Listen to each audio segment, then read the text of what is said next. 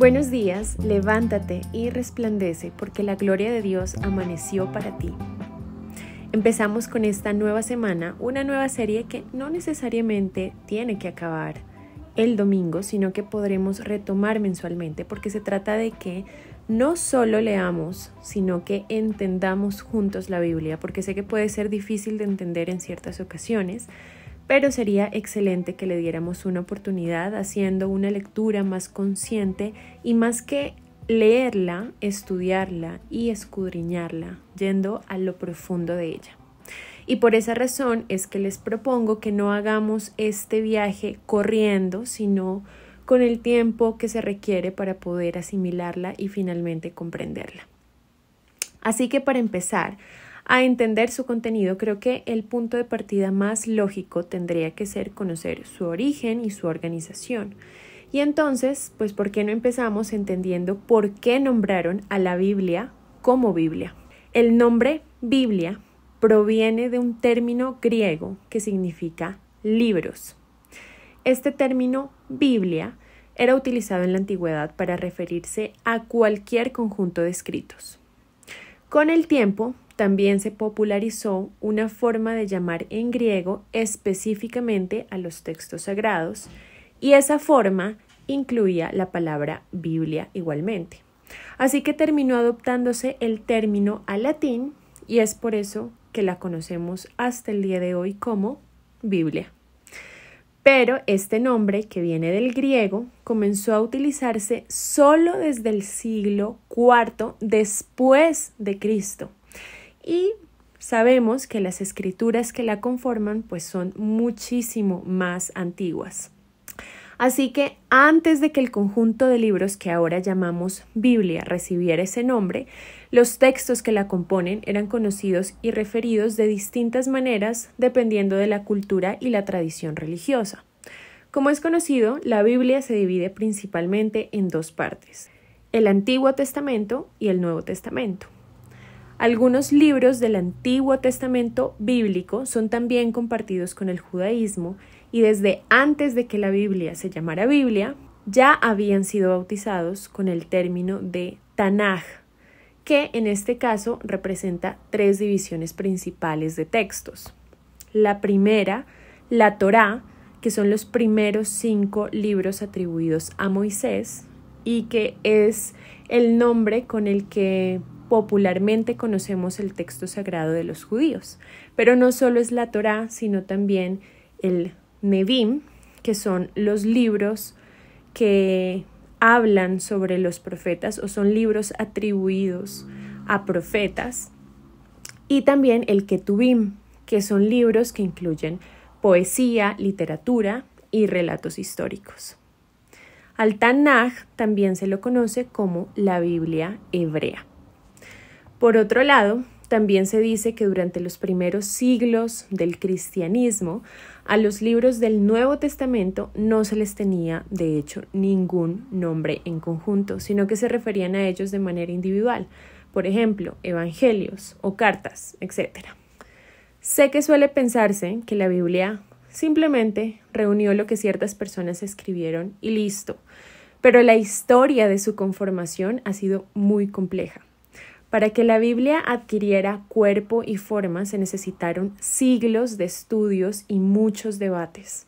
Y aunque se piense que es un texto que se quedó en el pasado, lo cierto es que se sigue estudiando y se continúan haciendo esfuerzos muy grandes, por ejemplo, de tipo arqueológico, para seguir estudiándola. Así que estamos hablando de un libro por el que se ha invertido mucho tiempo y también recursos desde distintas áreas del conocimiento, mucho más que de hecho todos los libros que hemos tenido que leer en el colegio y en la universidad, por ejemplo, y que a veces ni cuestionamos. Revistas como National Geographic, que tienen el, el objetivo de divulgación científica, han dedicado muchos artículos para hablar sobre la Biblia. Por ejemplo, en diciembre del año 2018, en su versión impresa para Latinoamérica, incluso hicieron de la Biblia el tema central de esta edición, poniéndola de portada. En esta oportunidad informaron sobre expediciones recientes para este año que se habían llevado a cabo para intentar encontrar nuevos manuscritos. Imagínense que en pleno siglo XXI aún estemos en expediciones porque sabemos que podemos encontrar incluso más manuscritos. Pero también en este especial de la Biblia que hicieron desde esta revista o desde este medio, aprovecharon para recordar la línea de tiempo de este texto, que además ha sido el libro, como sabemos, más vendido y traducido en todo el mundo.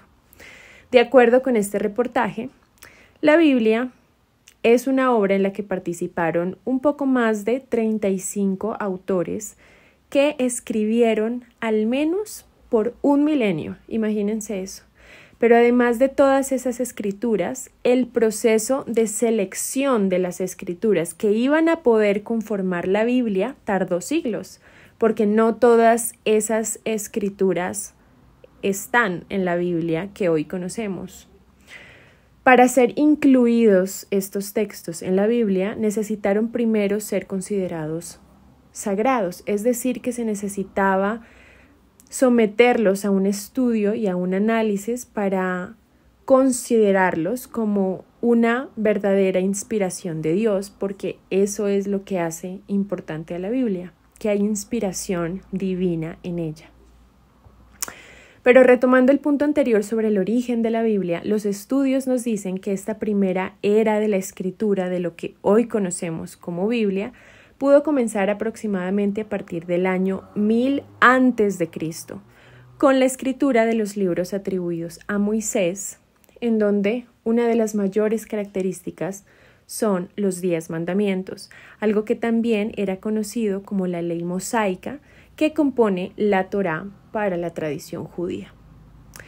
Pero aquí podría venir otra pregunta muy importante y es cómo ocurrió todo este proceso de consolidar a la Biblia, cómo fue transcrita, en qué idiomas están sus textos originales. Estas preguntas serán el tema con el que continuaremos en el episodio de mañana porque sé que ya por hoy tenemos bastante información. Este tema puede ser verdaderamente muy emocionante de estudiar y si les despierta interés, no dejen de buscar por ustedes mismos, de leer, asegúrense de informarse de fuentes confiables y verán cómo encuentran un mundo de conocimiento que de seguro será clave para su entendimiento de la Biblia y por ende también de su crecimiento y evolución espiritual. Amado Dios, hoy te damos las gracias porque en ti encontramos un universo infinito de información, que aunque el mundo nos ha querido vender la idea de que tu nombre solo es un tema religioso, al estudiarte podemos darnos cuenta de tu grandeza y de que estás verdaderamente en todo.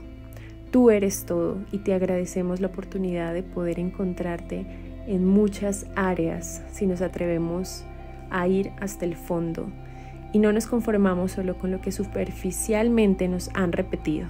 Que tu Espíritu Santo siga trayendo sabiduría a nuestras mentes y que podamos hacer de ella una herramienta para vivir en contacto contigo, entendiendo cada vez más, con más claridad lo que hizo Jesús por nosotros. Te entregamos este día nuestras preocupaciones, sueños y anhelos y te pedimos que te quedes con nosotros. En el nombre de Jesús. Amén.